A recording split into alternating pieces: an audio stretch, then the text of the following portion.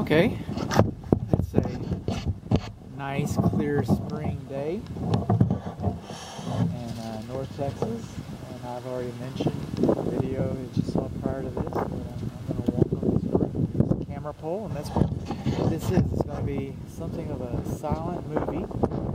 I'll take it home and throw it up on my computer and see if I can um, ascertain any additional data to include to the inspection report. Just get a good general look of the roof today. I'm going to inspect it a little further um, when I come back for the final. And I'll use a camera pull again for the final. At that time, I'll also have a storm report that I'll pull up for any recent storms. Uh, and I'll use a higher definition camera. I'm talking too much right now, but get that. Uh, I tend to overshare.